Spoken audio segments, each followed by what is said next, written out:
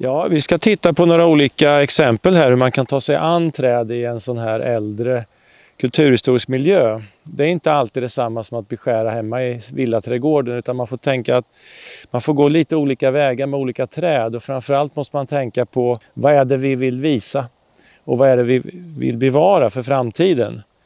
Eh, här har vi ju träd som är runt 100 år idag och som har sina skavanker och eh, hur ska vi göra för att ha dem kvar? Finns det någon eh, anledning i något fall att ta bort ett träd? Vilka mål har vi överhuvudtaget här? Eh, vi ska visa lite tekniska möjligheter som finns, hur man kan göra. Träden är ju, har ju lite olika status. Vi kan titta på det här trädet. När man tittar närmare på det här trädet då, då ser man att varenda knopp här är en, en blomknopp. Alla skott här är så kallade ringsporrar och det är alltså gamla blommande skott där det sitter en blomknopp längst ut. Och den blommar varje år och där bildas då små ärr som gör att man får små ringar runt skottet och det är det som gör att den kallas ringsporre. De här kan bli ganska gamla och till sist går de av oftast. Ofta när de är gamla så har de hunnit dela på sig flera gånger om, får förgreningar och då ser man de här ärren efter de gamla. När en knopp slår ut så är det flera blommor där och en liten bladkrans.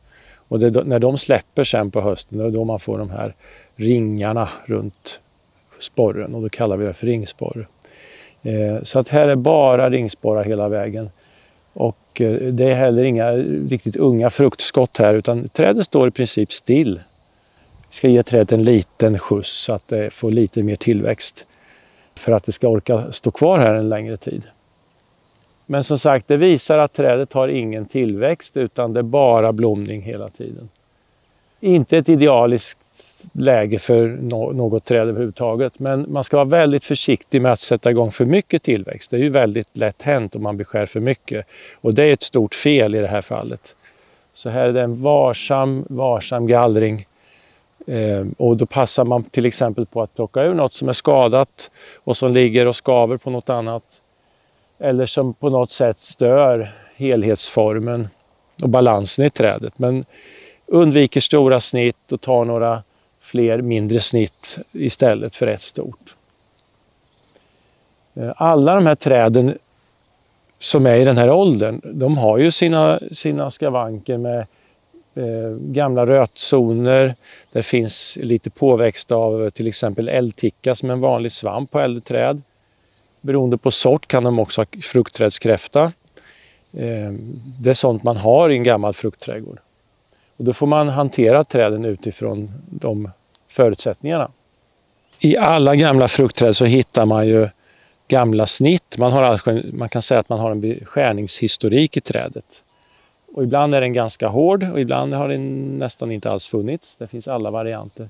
De här större snitten, speciellt stamnära snitt, eh, det är ju ingenting som trädet klarar av normalt att valla över när vi pratar om fruktträd. De är relativt långsamma på att valla över snitt. Så att så här stora snitt, det här är alltså 10 centimeter, det, det, klarar man inte, det klarar inte trädet av.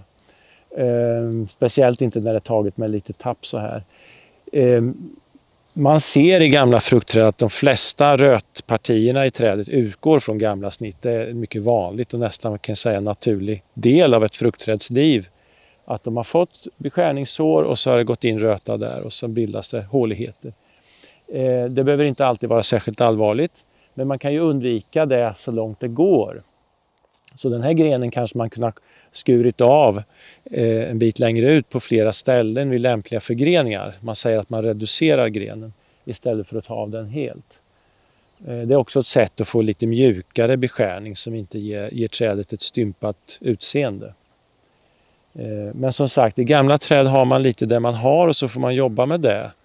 Och eh, man, man målar ju inte på någonting eller använder speciella medel på sånt här utan det trädet inte klarar av att eh, övervalla det, det är som det är helt enkelt.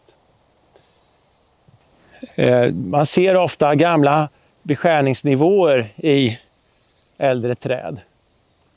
Och eh, därifrån utvecklas ju de nya skotten och det bildar ofta en ny våning i träden. Så att om de får växa helt fritt så kan det bli ganska stort och yvigt och ganska tungt. Eh, här är det ingen riktig fara än utan det här går utmärkt att gallra på det här. Eh, det kan bli riktigt bra faktiskt. Eh, har man gjort det här, haft otur och fått väldigt mycket skott, då har man helt enkelt beskurit för hårt och det här är ju för hårt egentligen, men det har gått ganska bra här. Det som är intressant här det är att det här trädet har då, som det ofta blir med fruktträd, framförallt äpple då, att tar man hårt så svarar det med tillväxt och ibland ganska ofta för mycket. Ehm, här är det ingen fara faktiskt. Det har kommit en hel del skott, en del vattenskott som sedan har hunnit bli några år nu. Och eh, de har då utvecklat fruktved. Och då är det inte framförallt ringsporrar som vi såg på förra trädet utan det här är yngre fruktved, alltså skott som är ett, tvååriga. Eh, och här finns tillväxt i ändarna. Och det visar då att trädet har en viss vitalitet. Eh, här har vi ett skott som är 25 cm långt. Ett årsskott som är helt vegetativt. Det kommer inga blommor eller så i år. Så den yttersta delen här är alltså ettårig.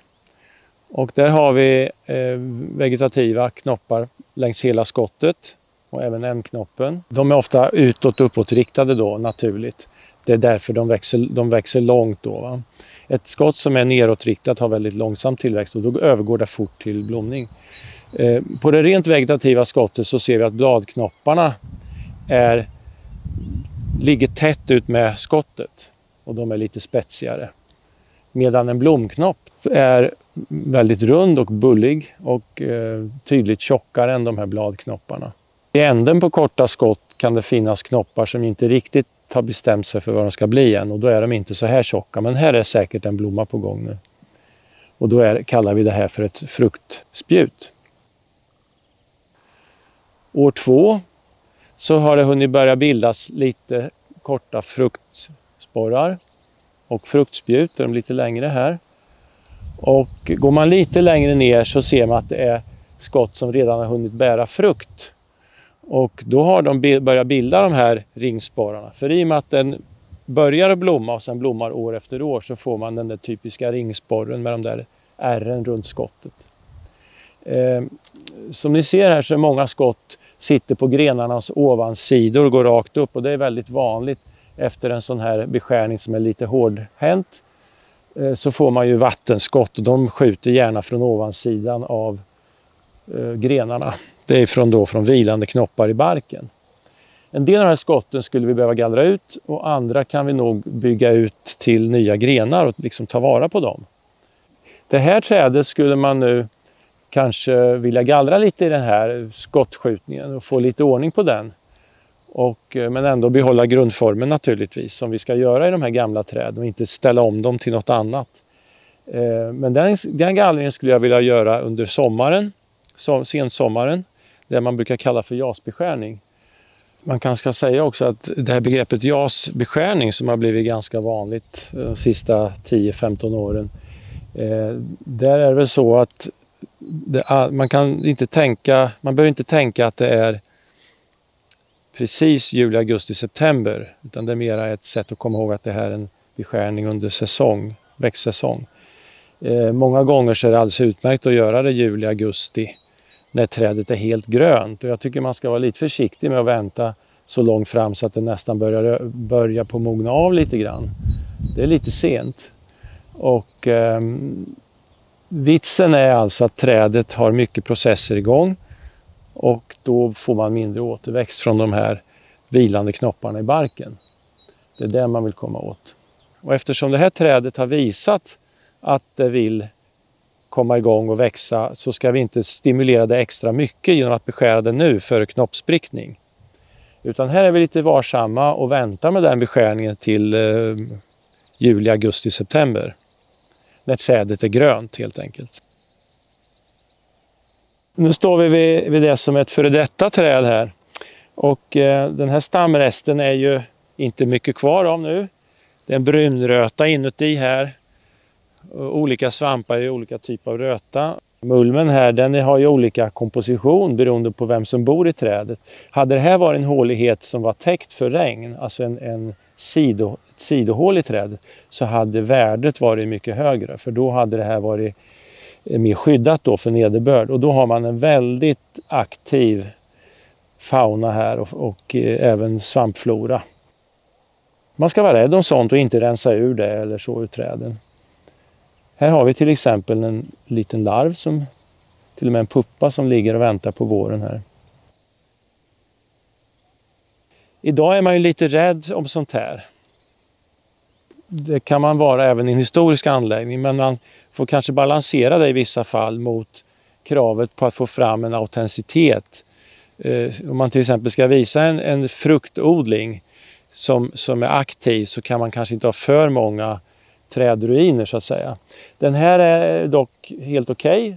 och den visar ju också var det ursprungliga trädet har stått, vilken intervall man har haft mellan träden här. Ett litet museiföremål i sig. Här ser vi att det finns liten aningsliv kvar i den här stubben och eh, den här delen av trädet har fortfarande en fungerande kontakt med rotsystemet. Eh, det mår nog inte så särskilt bra, man ser att de torkar i topparna här. Men man kan i alla fall tänka sig att i vissa fall så kan de här sista skotten vara det man tar vara på för att göra ett nytt träd. Och det, är det då årsskott som sitter lågt, det måste vara årsskott helt enkelt, då kan man ta vara på dem som ympris. Och då tar man dem när de är vila, sparar dem i kylen och sen ympar man in dem i ett annat befintligt träd eller i en grundstam och gör ett nytt träd av det. Det är ett sätt att bevara sorten. Ett annat, en annan sak man kan göra är att spara de här skydda dem så de inte blir avbetade av rådjur och andra djur.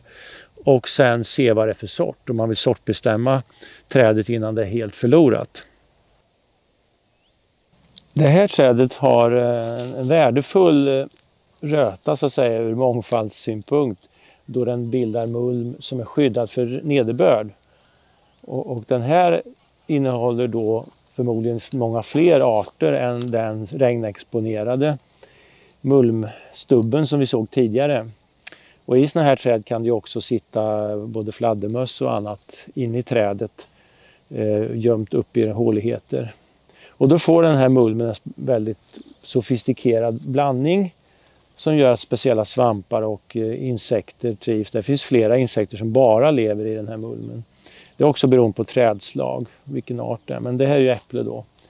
Ehm, så att idag är man rädd om sånt här, man rensar inte ut och gör rent utan det är en del av trädets åldrande och vi har, vi har ansvar för biologisk mångfald även i en kulturhistorisk anläggning så långt det är möjligt. Den här sprickan då som är påbörjad den är inte alldeles ny. Det ser man, det finns en liten övervallningskant här. Men den är ändå ett eh, varningstecken för att någonting är på gång. Och och eh, som sagt, det här är en av de vanligaste orsakerna till att stammar bryts på träd. Ofta i kombination med invuxen bark. Alltså att två stamdelar har vuxit mot varandra och har ingen ordentlig förankring. Men det här måste vi nu försöka eh, åtgärda på det sättet att vi avlastar vikt på grenen. Eh, vi går aldrig in och tar bort stora huvudgrenar. Eh, det är väldigt, väldigt sällan det är en bra åtgärd. Utan vi vill behålla kronans form men göra den lättare. Här ser vi en fruktkropp då av eldticka. En svamp som är, där själva fruktkroppen är flerårig. Och då får man de här ringarna, det blir nästan som ved i själva svampen och eh, man kan säga att man får eh, nästan som en årsring på hatten där. Eh, Fruktkroppen är ju bara en del av svampen. Den är huvudsakligen aktiva svampen ligger inne i grenarna här. Så att fruktkropparna de kan komma flera år efter att svampen har varit aktiv. Så det hjälper liksom inte att plocka bort de här, det ska man veta, utan det är en del av gamla träds liv att ha lite sånt här. Man får bara ha respekt för att det påverkar stabiliteten i grenarna och eh, att det visar att, att det är en gren som är under långsam nedbrytning då.